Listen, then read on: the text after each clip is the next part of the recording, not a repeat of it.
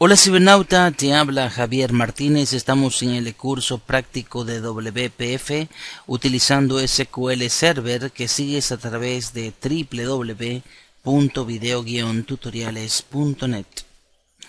Bien cibernauta, entonces habíamos quedado en el video pasado en eh, lo que correspondía a la parte de el incluir e hicimos la prueba con un registro.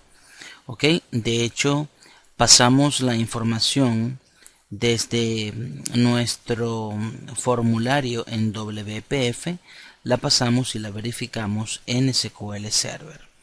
Ahora vamos a um, utilizar la parte de el consultar.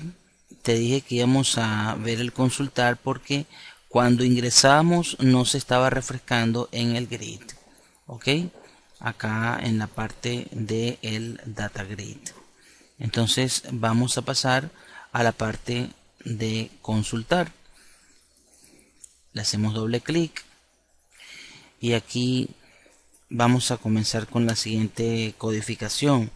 Recuérdate que cuando estamos utilizando este tipo de datos por lo general son tipos de datos listas los que se le incluyen al objeto DataGrid.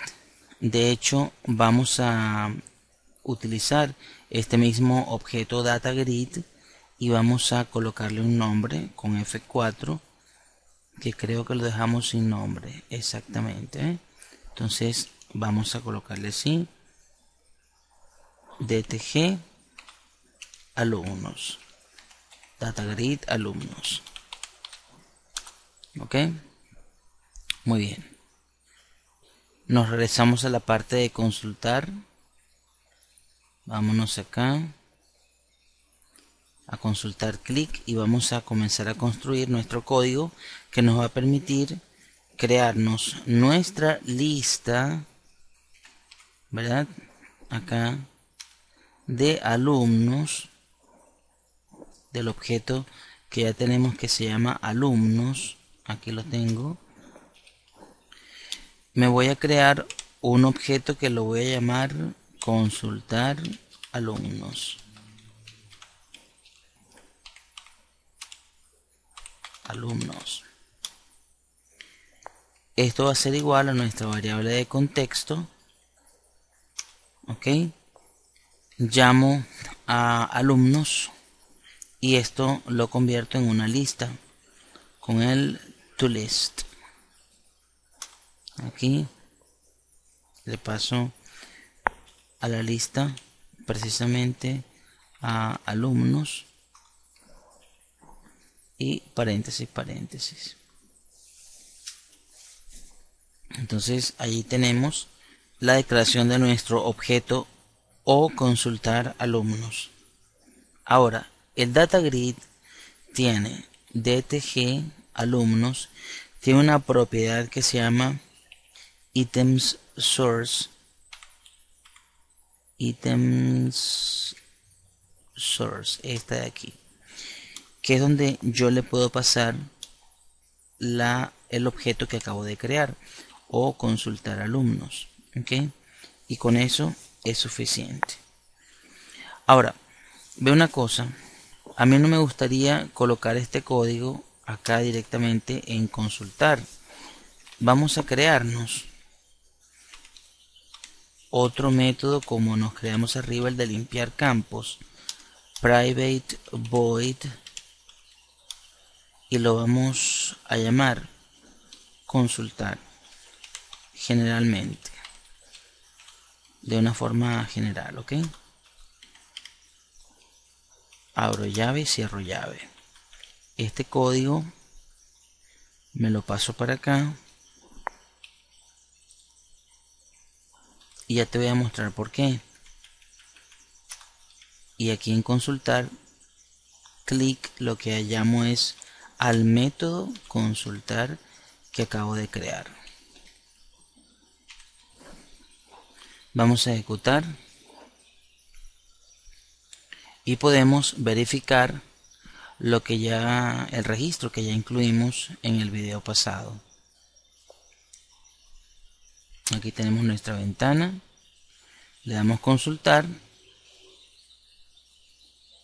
Y aquí tenemos ID estudiante nombre Javier Martínez DNI 8643830 dirección Venezuela y fecha de nacimiento 39 del 68 ok entonces este es nuestro consultar. Ahora si nosotros ingresamos un nuevo registro por ejemplo Tatiana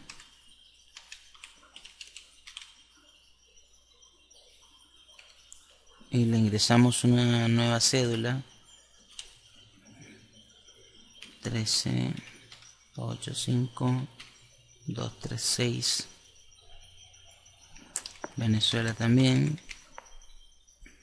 Le seleccionamos una fecha de nacimiento. Vamos a suponer agosto. Ok del año 84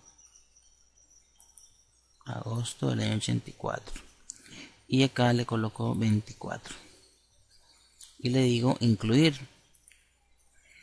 Nota que él me dice el alumno ha sido incluido con éxito pero luego que me limpia los campos y me deja la fecha actual el 25 2015 ok tengo que darle nuevamente aquí a consultar para que se refresque Tatiana esa no es la idea. La idea es que luego de incluir nosotros llamemos a consultar precisamente. ¿ok?